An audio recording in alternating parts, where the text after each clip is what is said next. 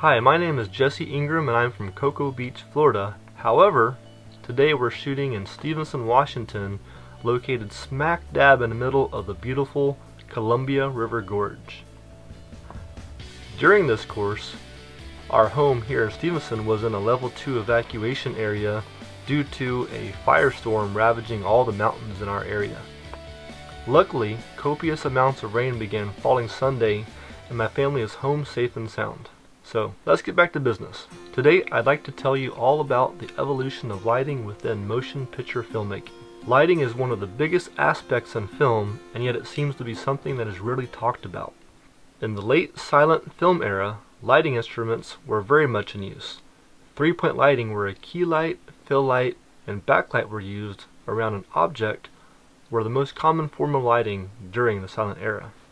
One of the sources for light in that era were arc lights, which produced illumination by means of an electric spark jumping between two poles of carbon. Unfortunately, carbon arc lamps used in filmmaking caused a condition known as Klieg eyes in actors. The Klieg lamp was a type of arc lamp used for a period of time. Filmmakers eventually had to stop using carbon arc lamps altogether with the coming of sound due to all the noise that the arc lamps produced. The other lighting option was mercury vapor lamps, which worked in a way similar to modern fluorescent lights. Both the arc lamps and the mercury vapor lamps allowed the creation of directional lighting, meaning that a chosen area of the set could be lit more brightly than other parts. This ability to choose which spots the audience should look opened up new options for filmmakers. Additionally, lighting was a huge component of the German expressionist silent cinema. Shadows were painted on the set of The Cabinet of Dr. Caligari to make the images strange and unrealistic. Expressionism gave German filmmakers the creative freedom not found in American films because realism didn't matter. This freedom from expressionism allowed directors to use all sorts of new lighting techniques. Enoch Arden, produced in 1911, is often cited as a film that introduced a significant new technique, the creation of a soft lighting effect on faces by using reflectors to redirect strong backlight. Today, lighting still continues to evolve and there's even more options for the filmmaker of today.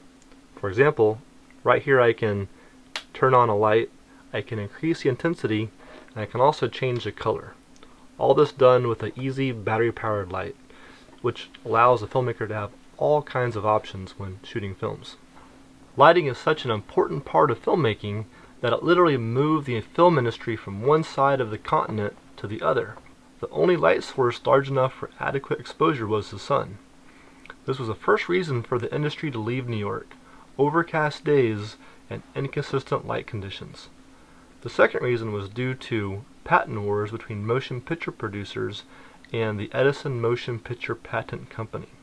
So although lighting isn't brought up in video very often, you can see that lighting has a major, major role within filmmaking. So big that it moved the film industry from New York to LA, and so important that all kinds of technology and evolution has gone into making films even better each year. Thank you for listening to my video and have a great day.